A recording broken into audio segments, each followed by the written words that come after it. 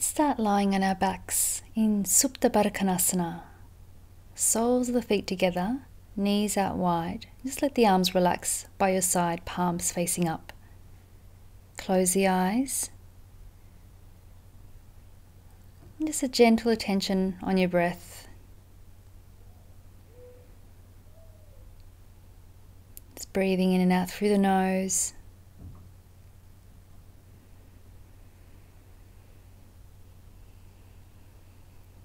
Noticing the surfaces of the body that are in contact with the mat. And as you exhale, allow those surfaces just to get a little bit deeper. So it's as if that back part of your body is imprinting onto the mat.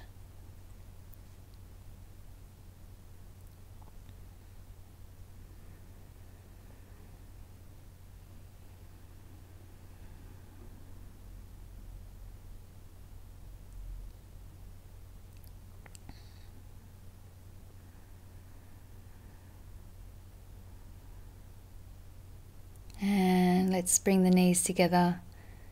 Separate the feet hip, uh, hip distance apart. Place that right foot on top of the left thigh, flexing the right foot. Feed the right hand through the middle and then interlace the fingers on the outside of that left shin bone. Inhale, and as you exhale, try to bring the legs in towards your chest. Keep flexing the right foot, but let that left foot just be relaxed and that right knee draws away from the right shoulder. And you're just very gently trying to draw those hips back down to the mat. So try not to lift the hips all the way off the mat.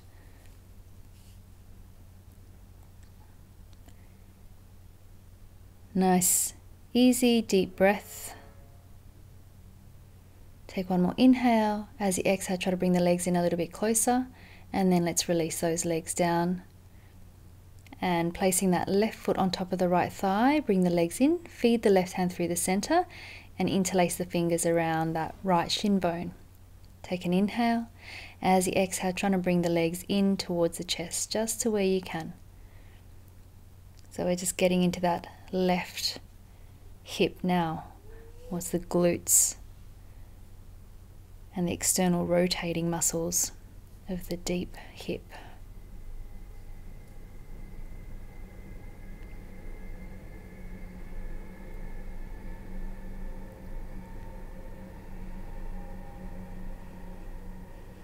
You can direct your breath to where you need it in the body. So if you're feeling it really strongly, take the breath where you need it. And as you exhale, imagine that tension just softening, leaving the body.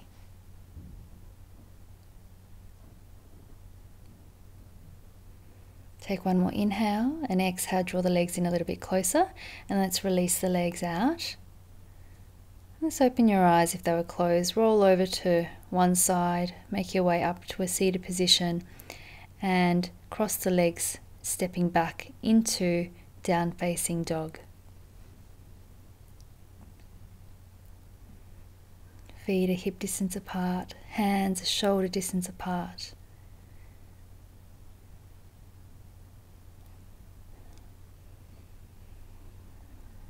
Looking forward towards the hands, bring that right hand a little bit close towards the left and then step the right foot to the outside of the right hand.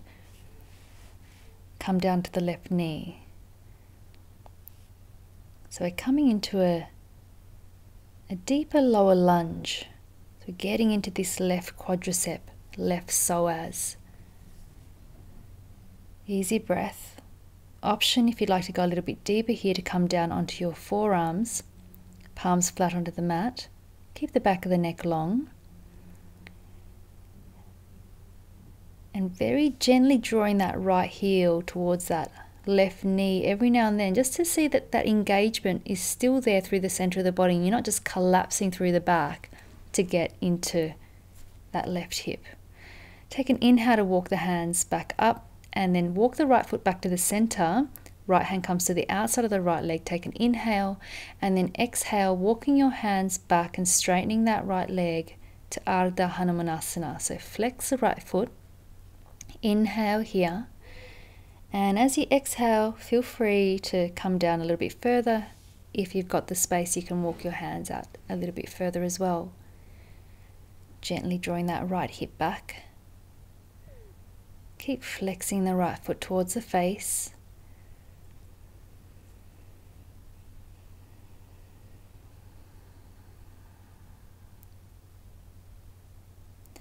Inhale to bend through that right leg and then lift that back leg off. Step it forward about a third of the way and then start to straighten both legs. So both feet are parallel here. Draw that left hip forward, right hip back, flexing the right foot towards the face.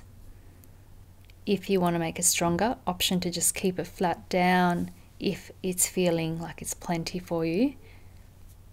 This is a very strong pose for a lot of us. And then take an inhale, bend into that right leg. Exhale, stepping back into Adho Mukha Svanasana. And here, just pedal out through the feet right and left a few times. And you can just circle the hips out as well. And then finding stillness for a moment. Bring that left hand closer towards the right hand so you can step the left foot to the outside and then come down onto that right knee. So we're coming into our lizard variation here. So you can stay up on the hands, or if you'd like to go a little bit deeper, you can bring those forearms down when you're ready.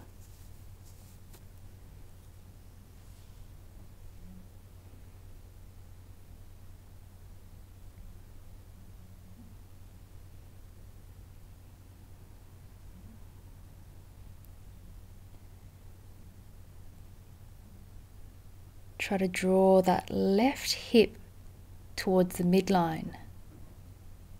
Then, when inhaling, come back up onto the hands, walk that left foot back to the center, and then as you exhale, start to straighten that left leg, walking your hands back. Flex the left foot towards the face. And when you're ready, you can just start to fold forward over that front leg to where you can, or you can just stay up without folding too far forward.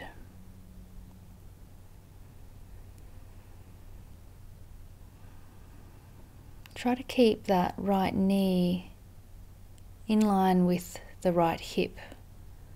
So you're not sitting too far back towards the heel there.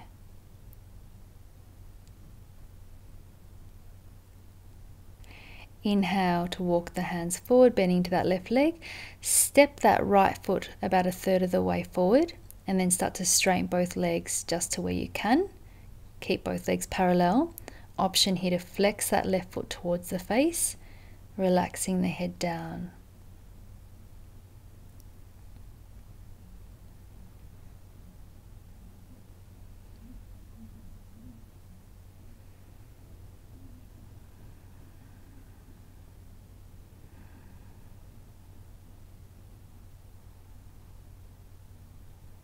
And inhale, bend into that front leg.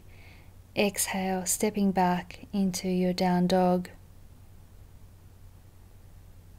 Looking forward in between the hands, just come down onto the right knee and the left knee, sit over to one side.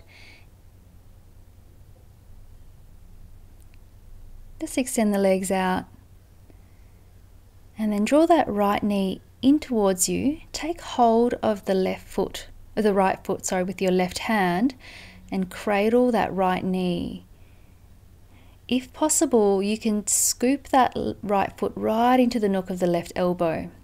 You're trying to draw the shin bone right up towards the chest. So you're getting that 90 degree angle with the leg. If you can't get that, that's totally fine. Just hold it where you can. Keep flexing the right foot so you're not sickling the ankle. Lengthen up through the lower back. just breathe.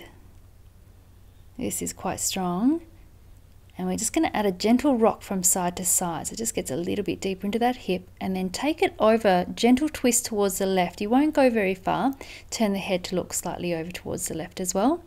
Keep breathing.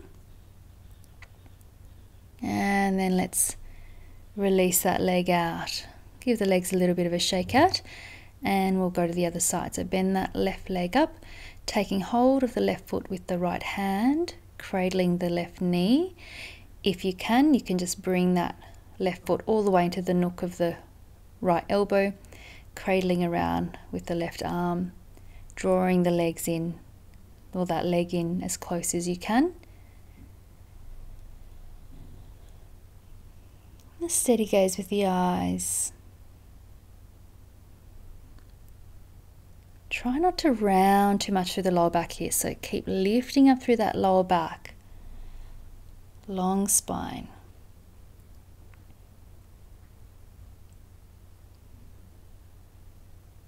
And little rock from side to side.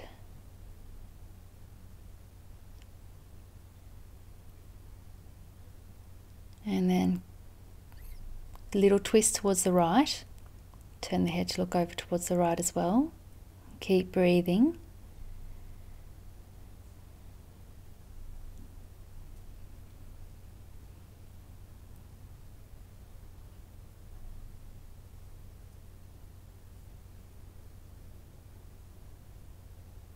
And then let's release back to center.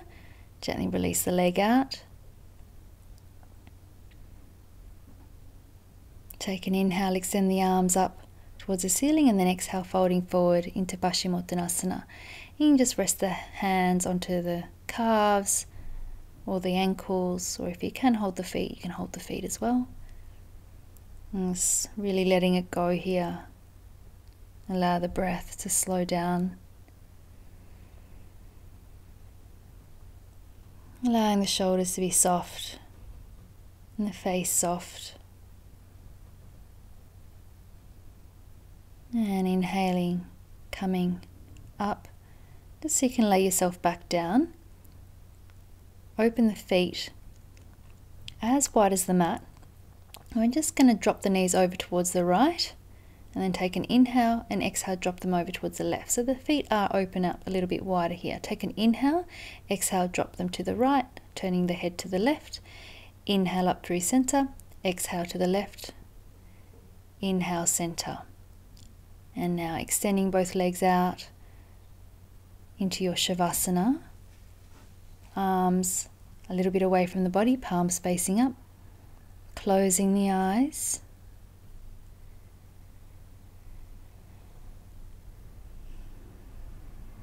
Just with each breath, allowing the body to get a little bit heavier and a little bit softer.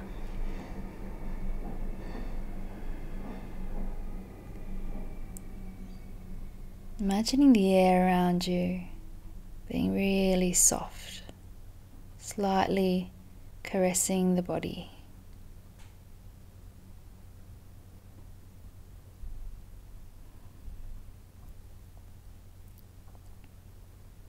Just going to rest here for another few moments. And you can stay here for as long as you need to. If you'd like to start to come out, you can just wiggle your fingers and toes. And when you're ready, bending the knees and rolling over to the right hand side. Just staying here for a few moments. Thanks so much for joining me today. Namaste.